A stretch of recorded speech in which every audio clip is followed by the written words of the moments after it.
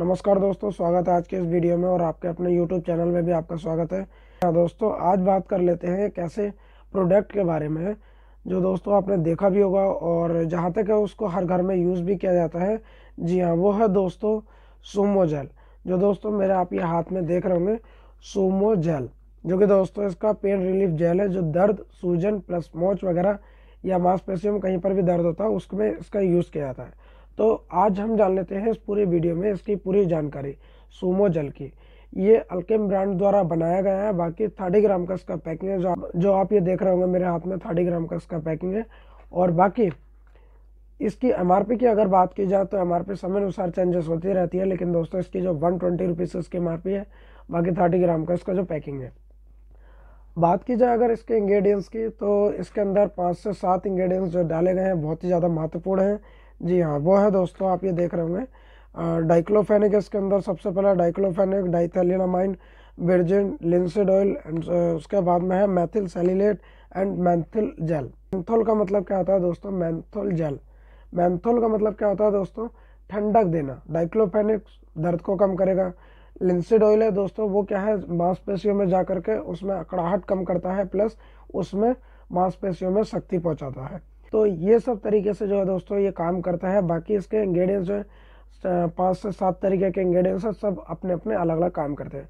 तो ये जो सुमो जाल है दोस्तों, ये आपको मार्केट में कहीं पर भी मेडिकल स्टोर पर आपको बड़ी आसानी से अवेलेबल हो जाएगा। हर किसी मेडिकल स्टोर पर, हर एरियाज़ भाई। बाकी ये क्या है कि सुमो जो जेल है दोस्तों, इसका जो यूज़ करने का जो तरीका रहता है एंड इसके क्या यूज़ रहते हैं, और इसका यूज़ कौन कर सकते हैं, कौन नहीं। तो सबसे पहले हम जान लेते हैं सोमो जेल के यूजेस तो यूजेस की अगर बात की जाए तो ये एक पेन किलर जेल है, जो हमारी मांसपेशियों में कहीं पर भी दर्द होता हो, या फिर सूजन लगती हो जोड़ों जोड़ों में दर्द होता हो, या फिर कोई ऐसी गुम चोट यानी कि कह सकते हैं मसल्स इंजरी अंदर से स्वेलिंग लग रही है, यानी कि सूजन हो रही है, नसों का कूदना, सर्दियों के टाइम पर क्या होता है दोस्तों अर्थराइटिस का दर्द होने लगता है तो उसमें भी दोस्तों इन सब का काम रहता है। ये जितनी भी सारी दिक्कतें मैंने आपको बताई हैं दोस्तों, जोड़ों का दर्द हो या फिर सूजन लगती हो या फिर कोई चोट लगी हो, चोट की वजह से सूजन हो जाती है, या फिर दोस्तों कमर में हमारे दर्द रहता है या कहीं पर भी अर्थराइटिस का पेन है सर्दियों के टाइम पर तो उन सब प्रॉब्लम्स में इसका यूज़ किया जाता है। बाकी क्या है, ये इसके सारे यूजेज रहते हैं, दर्द, सूजन प्लस मोच में प्लस मांसपेशियों के पेन को ये कम करता है, ये सारे इसके काम रहते हैं।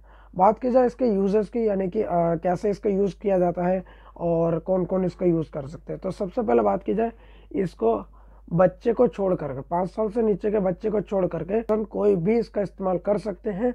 अब बात की जाए किस समय कर सकते हैं? जब प्रॉब्लम लगती है तब तुरंत में ही इसका यूज़ किया जाता है। और बाकी अगर इसको परमानेंटली यूज़ करते हैं जैसे कि अर्थराइटिस पेन में या फिर कोई आ, कोई ओल्ड मांसपेशियों का पेन होता हो या फिर कुछ वैसे भी बैक पेन वगैरह होता रहता है तो उसमें अगर इसका यूज़ किया जाता है तो सुबह शाम के हिसाब से भी इसका यूज़ कर सकते हैं और इसको हल्के हाथ से रब किया जाता है, जहाँ पर भी इसको लगाना होगा, क्योंकि ये जेल फॉर्म है। तो ये इसका यूज़ करने का तरीका रहता है, सुबह शाम या जब बहुत ज़्यादा प्रॉब्लम्स लगेगी या फिर कोई इमरजेंसी में कोई चोट लगती है, तब इसका यूज़ किया जाता है। ये इसका यूज़ करने का तरीका रहता है। बाकी ध्यान दें दोस्तों, इस सुमो जेल का जो यूज़ होता है दोस्तों, खुली चोट में, घाव वाली चोट में बिल्कुल भी इसका इस्तेमाल नहीं किया जाता है। बाकी ध्यान दें आँख के पास में बिल्कुल भी इसको ना लगाएँ। ध्यान दें, फेस वेस वाली जगहों पर बहुत ज़्यादा इसका यूज़ करना नहीं होता है। खुली चोट में बिल्कुल भी इसका यूज़ नहीं करना होता है। बाकी ये क्या है? सोमो जल। आप इस जल का अगर यूज़ भी करते हैं तो अपने बार पहले डॉक्टर से ही सलाह करें, उसके बाद इसका इस्तेमाल करें। बाकी सोमो जल के बारे में मैं आपको यहीं तक तो बताऊँगा। बाकी मैं आशा करता हूँ आपको ये मेरी पूरी जानकारी अच्छी लगी होगी। अगर मेरी ये जानकारी अच्छी लगी हो, मेरी पूरी वीडियो अगर आपको अच्छी लगी हो तो मेरी पूरी वीडियो देख करके इसको लाइक करिएगा, बाकी चैनल को सब्सक्राइब करिए।